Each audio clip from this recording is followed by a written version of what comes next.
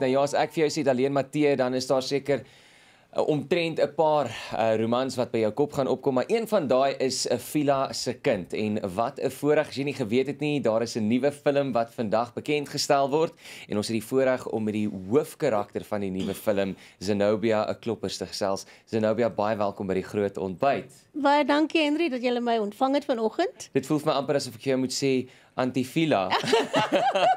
Strand nog dit gesien. dit voel amper net so reg. Ja, ek ek moet bieg ek hierdie fliek nou al vir die tweede keer gaan kyk. Eers by die premier en toe nou gisterand sommer weer, maar mense sien soveel meer dinge raak. So ek wil eerstens vir jou sê baie geluk vir jou en die span. Ehm Dankie. um, ek dink julle het 'n groot taak aange, aangepak en julle het regtig daarin geslaag. Ja, baie dankie. Voordat ons by die film gaan stil staan, is er nou weer dalk so 'n bietjie agtergrond oor jou. Ons wil jou ook darm bietjie beter leer ken. Groot word jare, waar het jy groot geword, gaan studeer? Vertel ons 'n bietjie. O, oh, okay. So ek is ehm um, my ma is Suid-Afrikaans, my pa is Namibies. Ja. Uh so ek het in Namibië groot geword. Ehm um, Windhoek groot geword. Ah, oh, lekker. tot ek universiteit toe gekom het by um, in Kaapstad by UCT en dan toe later by Stellenbosch Universiteit. Ehm um, eerste graad gedoen in uh, publieke administrasie en menslike hulpbronne. Ah, weird. Sure. En toe bietjie gaan werk, teruggekom, drama geswat, sang geswat, ehm um, spesifiek opera. Ehm, um, joe, en toe maar net ingespring en uh, my bes gedoen, jy weet, maar meestal teaterwerk en radiowerk, ja. Sjoe, so jy het jy het omtrent 'n tyd vir die boeke spandeer. Uh, ja, ja, ek is 'n bietjie van 'n boekwurm. Vir enigiemand wat dink sukses kom sommer net oornag, het jy sopas verkeerd bewys. Jou passie vir drama, waar dit ontstaan? Van kleins af. Is dit? Ja, nee, drama jy, queen. Ja. jy, jy ek sê mos as as jy bedoel is vir hierdie loopbaan, ehm um, dan dan byt daai dingetjie, daai jy weet dit byt jou mos maar van vroeg af. Ja. Ek is van kleins af uh, altyd maar die ene wat almal entertain. Mm. So Ja, ek het, ek vra nogals gereeld die vraag, maar dit is my altyd interessant om om te probeer uitvind want ons gewoonlik 'n persoon of dit nou is 'n onderwyser op skool uh, of 'n familielid of iemand wat gewoonlik vir jou uitstaan wat jy kan sê, maar hierdie persoon het nogals um tyd geïnvest en gesê maar weet jy wat, jy het talent. Kan jy aan so iemand dink in jou lewe? Ehm, um, sjoe, daar's daar's baie mense wat eintlik vir my ondersteun het. Ehm um, my ma verskriklik baie. Ehm um, ek het onderwysers gehad wat wat baie ondersteunend was. Uh een van my gunsteling Erna Troeter was my Afrikaanse onderwyser. Ehm um, en sy het ook drama gegee by die skool. So so ja, daar's 'n hele paar eintlik. Kan dink. Ja. Ek wil vir 'n oomblik stil staan by Vila se kinders. Hoekom jy ook vandag hier is. Ek meen mense gaan lief raak vir jou vir Vila, dink ek. Um die roman versus die die film. Ek meen dit is tog 'n 'n groot uitdaging sekerlik. Wat was van daai uitdagings vir jou persoonlik gewees? uh om dit te verwerk en en ewe skielik daai prentjie van 'n hele boek vas te moet vang in 2 ure. Ja, weet jy ek ek dink die ehm um, die uitdaging was eintlik vir Brett Michael Ennis. Ek dink mm. dit was sy uitdaging uh om my boek te verwerk in 'n teks en vir vir film. Ehm um, en hy wou baie graag fokus op die verhouding tussen Benjamin en. Ehm mm. um, want daar's tog 'n sentrale verhouding in die in in die boek in. Ehm um, so met met ander woorde dan van die ander goed word dan uitgelaat so die sodat die fokus sterker is op op Vila en Benjamin. Ehm um, in terme van van van van die uitdaging van dit op film speel.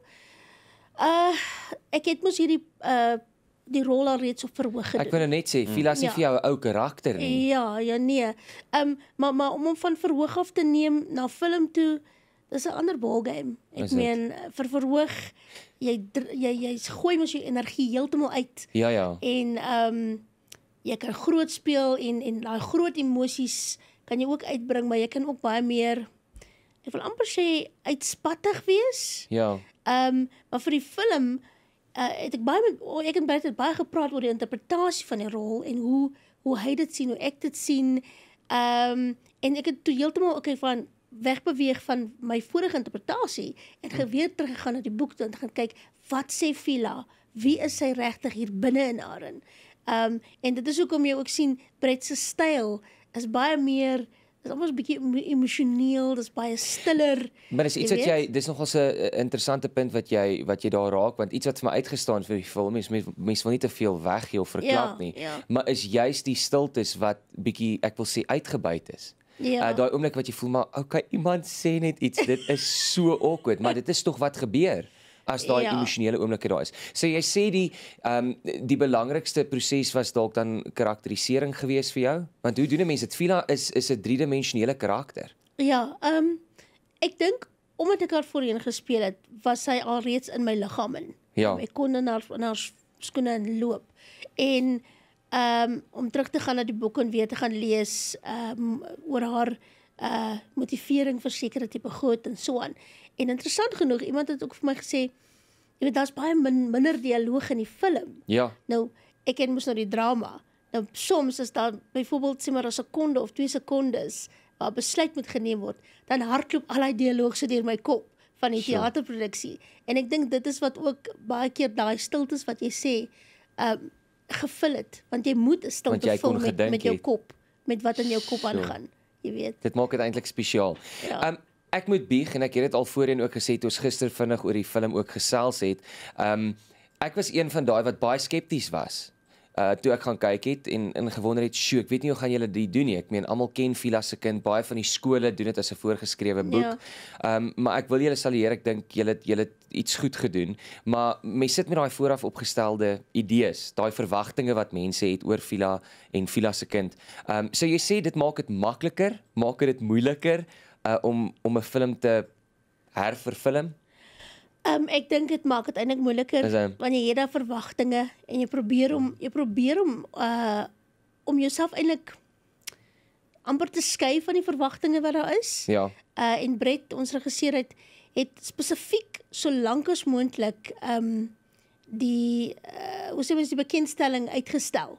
So Ja. sodat ons in stilte kon verfilm sonder enige pressure van buitekant af. Ehm um, so ja, ek, ek dink dit is moeilik om om om weer 'n 'n nuwe film te maak van iets wat reeds bestaan. Ek kan dink. As jy dink aan Vila, watter eienskappe van Vila het vir jou die meeste uitgestaan en hoekom? Ehm um, haar moed, Mm. haar wa waarskynlik haar liefde. Sy so daai moederliefde van haar, dit is so sterk. En en die ander ding is haar sy sy, sy, maak 'n belofte aan Benjamin Mm. en sy's 'n vrou van haar woord. So daai belofte wat sy aan hom maak is eintlik die motivering wat wat haar dryf Sure. om nooit op te hou om hom te soek nie. Ja. Ehm um, in die lig van geslagsgeweld, ek meen ons het hierdie afgelope 2 weke gesien wat aan die gang is en ek dink dit is ook 'n 'n tema wat sterk na vore kom in die film. Ehm um, watter boodskap dink jy dra Vila in die verband oor? Ehm um, ek dink Vila praat van liefde. Ja. Ek dink sy praat van verdraagsaamheid en dat ons moet verbykyk, verby kleur kyk. Hmm. Uh want ons hierdie hierdie hele ding van kleur, dis so is, eh, die Engelse woord superficial. Hmm. Jy weet, dat dis nie 'n rede om mense uitmekaar uit te hou nie. Ehm um, en, en en en en baie van hoekom ek dink daar uh, aggressie is tussen mense en en weerwil is omdat mense dink okay jy's anders as wat ek is. Mm. So ek kan maar vir jou as nie mens behandel nie. Ja. Jy weet. Ehm um, so so mense moet kyk verby daai verskille. Want hier's 'n wit seentjie, kleur wit Ja. wat groot word in 'n bruin huishouding. So essensieel is hy eintlik 'n bruin kind mm. met 'n wit vel. You know. Dis dis hoe ek dit Sure. sien. So en daai hele ding van identiteit en waar waar hoort ons as mense? Ehm um, en wat wat bepaal wie jy is en waar jy hoort? Ehm um, dit is die sterk temas wat wat voorkom in die film. Ja. En ek dink dis dit dit is 'n weier gesprek wat eintlik oopgemaak word. Ja. En veral wat jy sê nou daai konteks van al daai geweld en goed. Want waar kom dit vandaan? Jy was weet. iewers iewers het dit gebroei, iewers Ja. moes dit ontstaan het of geplant geword Ja, het. exactly. Daar's 'n skroefie iewers het 'n knak dingetjie gebeur Ja. en dit het net 'n domino effek gehad want hoe op aarde kom jy by 'n punt uit as mens om jou hand te lig vir 'n ander persoon? Dit beteken jy minag daai persoon of jy Ja. sien nie daai persoon as mens nie. Ehm Ja. um, so ja, dis 'n hele dis 'n hele Sure. gesprek. Ek kan ure praat, ure praat daaroor. So nou weer net so vinnig. Tyd is besig om ons in te haal, maar ehm um, net so 'n bietjie oor die verfilming verfilmingsproses. Die moeilikste toneel vir jou gewees. Hoekom? Okay, ek gaan nou ek wil nie ek gaan niks weggee nie, Nee, maar ek het. 'n- ek het eh, daar was 'n moeilike toneel, uh redelik emosioneel. Ek moes my eie stand doen. Ons gaan nie praat jy weet waarvan ek praat. Ja. Daar was 'n moeilike toneel want dit was fisies en emosioneel nogal baie moeilik. Ehm En dit Ja. het so uitgekom ook. En nou wonder almal wat gebeur. Ja, Wat maar dit is goed om mense nuuskierig te maak. Dis definitief. Ek sien iemand sê ook hier, hulle gaan môre by Centurion kyk. Hulle is so opgewonde. vat die tissues saam. Ek wil sommer hoop die chunk as ek stories nog hieraan dink. dieselfde. Villa, Nina en Lucas. Sjoe, nee, daai kom ja, die Komutis en die van Ja. Rooyens is almal daar. Yep. Ehm um, die line of die die lyn, jou woorde wat jy nog altyd sal onthou van jou teks. Daar's mos altyd daai iets wat vir jou uitstaan. Ehm um, dit is maar beloof maar sal jy nie laat vat nie. Sjoe. Jy sal jou kop agter hierdie berg laat sak om jy sulke moed in die oor mense boeke uh, opgeskryf staan nie. Hoor net daai Joras. Mm, dis mooi. Sluk die trane, sluk.